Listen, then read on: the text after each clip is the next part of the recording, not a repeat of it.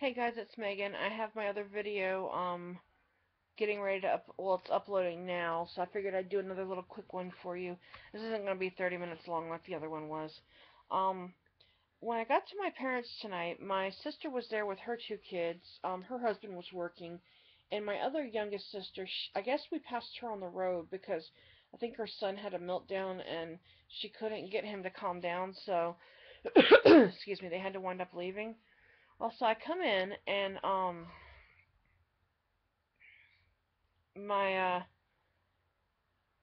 I had to throw some clothes in my mom's dryer because while it was wet, I had a change of clothes with me, so I needed to dry what I had already gotten wet from the rain.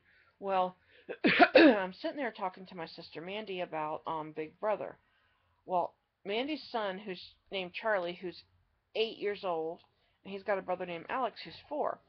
Well, Charlie I was talking to Mandy about um, Big Brother season 17 and about the eviction night.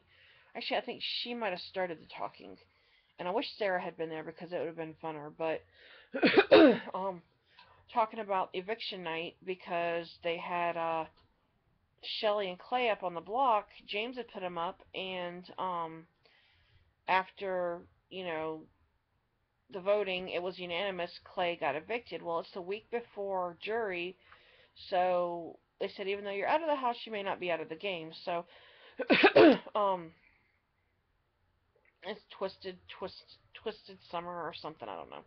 Anyways, I'm sitting there talking to Mandy, and all of a sudden, Charlie says, "Well, my favorite guy, my favorite person on Big Brother got evicted," and I'm like, looking down like an eight-year-old. I'm like, "Who?" Jason. I really liked him. And of course, my dad hit the roof. He's like, What are you letting your son watch Big Brother for? It's just a bunch of half naked people, and there's no reality in it. It's all scripted, and there's nothing real. Once the cameras are rolling, they're scripted on what they're doing. Well, no, the live feeds, they're not, because if they were, they might come up with some pointers of what to talk about, but they're not scripted on that. On the show, however, when they have to be on there, they are a little bit that well they have to read scripts for some of the cons and events and stuff. but um my nephew Charlie I used to watch American Idol and the year that um I think it was a year after after Crystal Bowersox. I think it was the year that had uh um Scott what's his name? Oh, I can't remember his name. Scott, oh, Scotty McCreery. The year Scotty McCreery was on there. And Charlie told me Scotty McCreery was going to win it. He had it. He's really good. He liked his voice.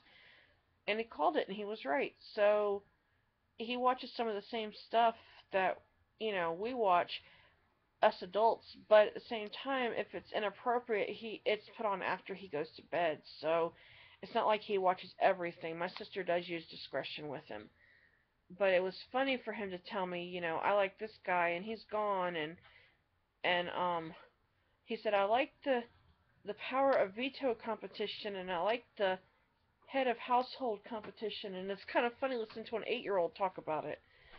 So, um I hope it's not going to be one of those in, you know, 10 years, 15 years if it's still on the air that he decides he wants to try out for it.